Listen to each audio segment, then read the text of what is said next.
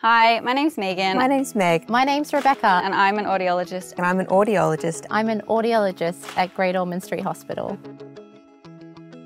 Usually when I tell someone I'm an audiologist, they say, What did you say? Or, Do you work in music then? Audiology is a challenging and expanding field involving the assessment and management of hearing and balance.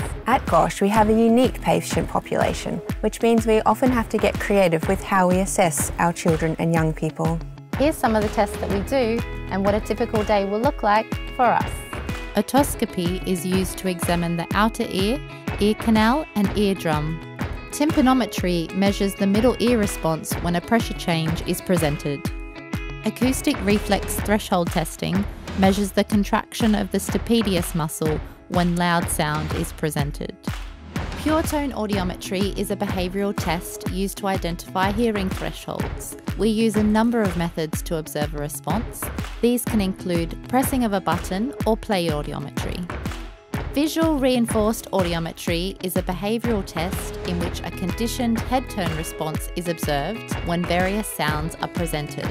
The test requires two audiologists, one to present the sound and one to distract the child.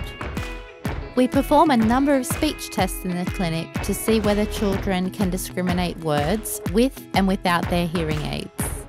Hand. Which? Otoacoustic emissions are low level sounds emitted by the outer hair cells in the organ of hearing, the cochlea. An auditory brainstem response is an objective test that measures brainstem activity when sound is presented. The test can only be performed under natural sleep or when required anaesthetic. We also offer a variety of other complex testing, including auditory processing testing, cortical evoked potentials, and a complete battery of balance tests.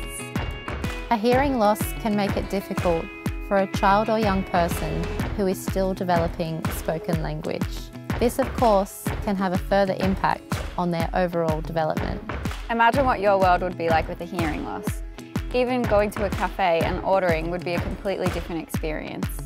Here is a simulation of what a conversation at a cafe might sound like with and without a hearing loss. How is the food in Spain? Just great. I love their tapas. Tapas? I've never heard of it. How is the food in Spain? Just great. I love their tapas. Tapas? I've never heard of it. At Gosh Audiology, we believe in a world without barriers for deaf and hearing impaired children. We encourage the use of all kinds of communication types. In 2018, 6,419 patients were seen in audiology at Gosh. Here are some of the departments we support. Craniofacial, Cleft palate, Oncology, bone marrow transplant and haematology, cystic fibrosis, cochlear implant, ear, nose and throat. genetics, and the clinical research facility. Thank you for listening. Thanks for listening. Thank you for listening.